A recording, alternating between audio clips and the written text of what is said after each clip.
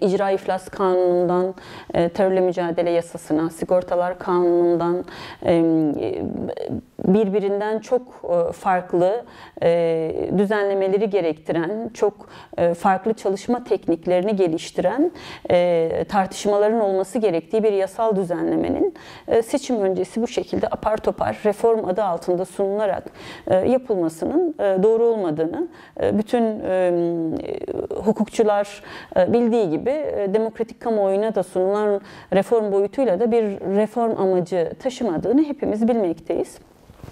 Ee, öncelikle yöntem olarak e, biz e, bu sürecin e, elbette ki doğru olmadığını itirazlarımızla dile getiriyoruz. Ancak bu yöntemin yanında e, içeriye dair de ciddi tartışmalar e, elbette ki yürütmemiz gerekiyor. Çünkü e, ülkemizde hukuki açıdan ciddi reformları gerektirecek hukuki sorunların mevcudiyeti kaçınılmaz. Hem de yaşamın birçok alanında karşımıza çıkan reform gerektiren bir süreç işletmek gerekiyor. Ancak Karşımıza reform olarak sunulan şey e, son dönemlerde e, özellikle e, yargı işleyişimiz içerisinde Anayasa Mahkemesi tarafından büyük haksızlık ve hukuksuzluklarla mağduriyetlerin oluştuğu tespiti yapılan ve Anayasa Mahkemesi kararlarıyla da yasal düzenlemeler gerektiren kararlar üzerine de kurulu bir süreci işletiyor. Zira bunlardan önemlilerinden bir tanesi e, büyük bir reform olarak düşündüğümüz e, örgüt üyesi olmamakla beraber örgüt adına suç işlemek e, isnadına ilişkin e, Anayasa Mahkemesi kararıydı.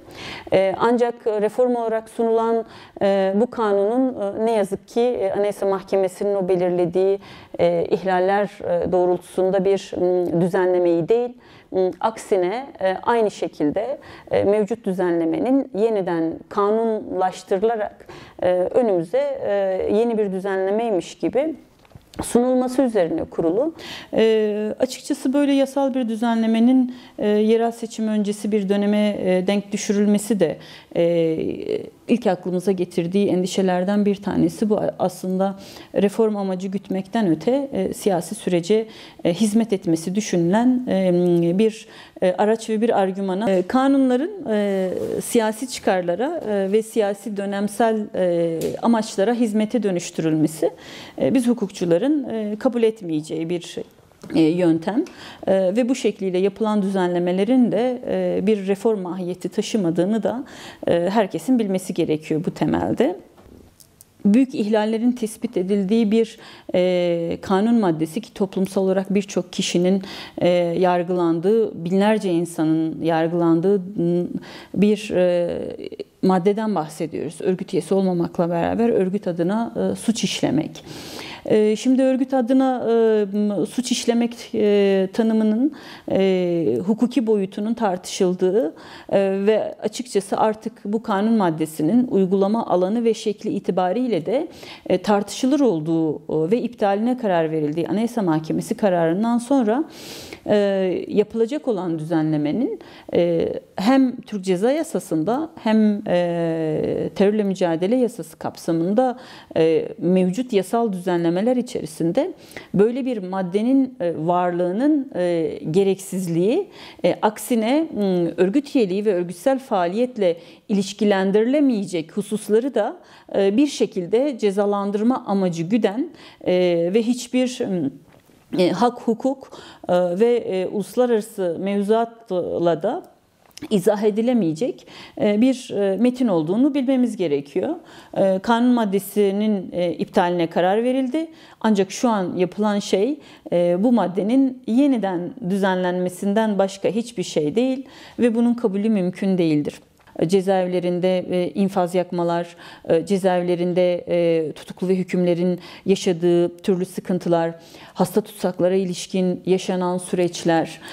Şimdi bu mağduriyetler ve gerçekten reformu gerektiren bu yönlü talepler ve ihtiyaçlar varken Böyle bir yasada reform yapıldığı iddia edilen bir yasada en önemli toplumsal yaralarımızın yaralarımızdan bir tanesi olan cezaevi sorunlarının e, düzeltilmesine dair hiçbir düzenlemenin ve hiçbir çalışmanın olmaması da e, aslında bu yargı paketinin gerçekten reform amacı gütmediğini, e, adalet tesisine de e, hizmet etmeyeceği e, gerçekliğidir. Siyasi arenada siyasetçiler siyasi vaat malzemesi olarak kullandılar.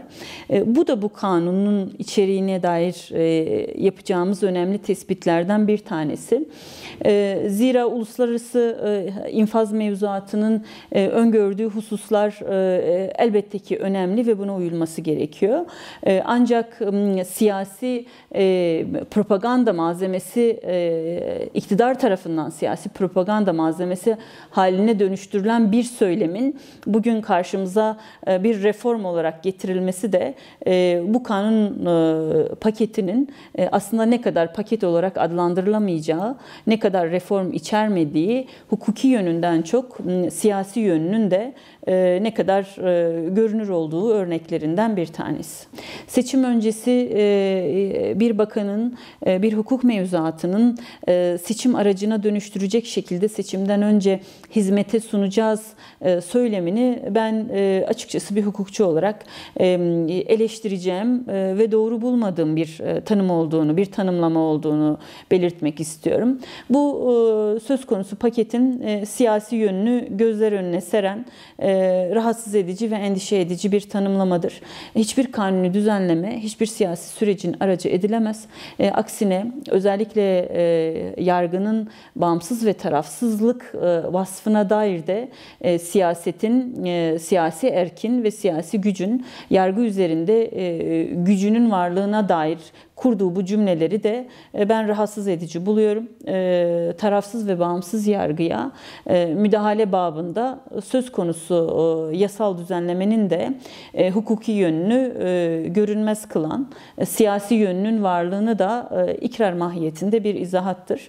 Bu şekliyle de bu kanunu ayrıca bu tanım üzerinden de eleştirme eleştirme hakkına da sahip olmuş oluyoruz bu şekliyle. Kanunlar elbette ki seçilmişler e, eliyle gerçekleştirilir. E, ancak toplumun tamamına ilişkin e, hak talepleri ve ihtiyaçlar üzerine kuruludur. Herkesi doğrudan ilgilendirir. Siyasetin yargı üzerinde ki hakimiyetinin de e, kabul edilemez olduğunu üzerine bir e, evrensel gerçek üzerine kuruludur. E, kabul etmemiz ve doğru bulmamız da mümkün değil. Ben bir bakanın böyle bir tanımlama yapmasını da büyük bir talihsizlik olarak düşünüyorum.